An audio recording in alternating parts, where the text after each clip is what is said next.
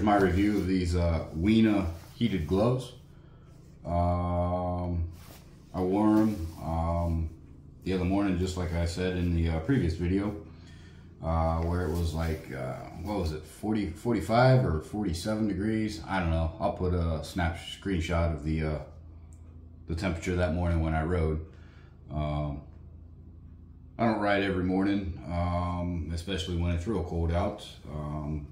You get down to that 50 degrees.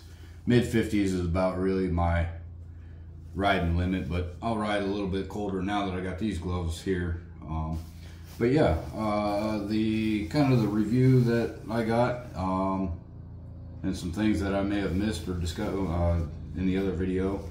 Um, they keep my hands pretty warm, um, especially on the top side here. Um, they block the wind um, and everything like that. A cat. Cat wants on my lap here. Um, but uh, I feel the heat um, underneath when your hands are on the uh, the grips. Uh, I don't know. I can't say that I feel the the heat so much down on in the fingers on the bottom side.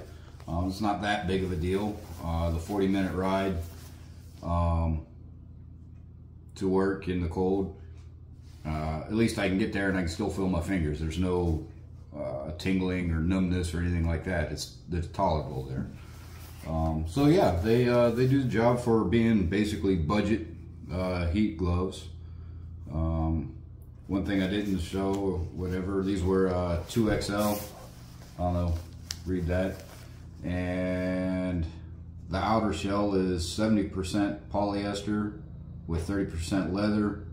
Inner shell is 60% cotton and 40% uh, polyester. So I don't know if you can read that or not, but there it is. And these were 2XL. So um, yeah, you get on the uh, website, they'll tell you how to measure your hands, which is around here. And then I think was it your middle finger or ring finger. I'm not sure. I don't remember.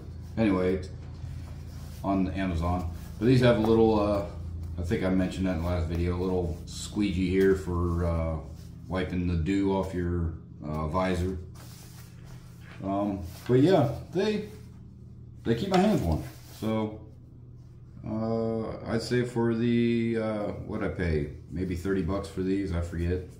Um, they keep my hands warm and make me ride the motorcycle a little bit uh, longer uh, instead of Ohio's randomness of weather and one week it's cold and one week it's hot. But uh, yeah, so how many of you guys rode uh, in Ohio, you know, when it was uh, 70, 70 degrees in January and there was a couple 70, almost 80 degrees in February? Yep, I did. Um, beautiful out. Uh, but that's Ohio, and now here we are, the end of April, and our mornings are 29 degrees, 30 degrees, something like that. I think we're under a freeze warning uh, for tonight and tomorrow morning. Um, and high of, I don't know, maybe 60, 59 degrees, something like that.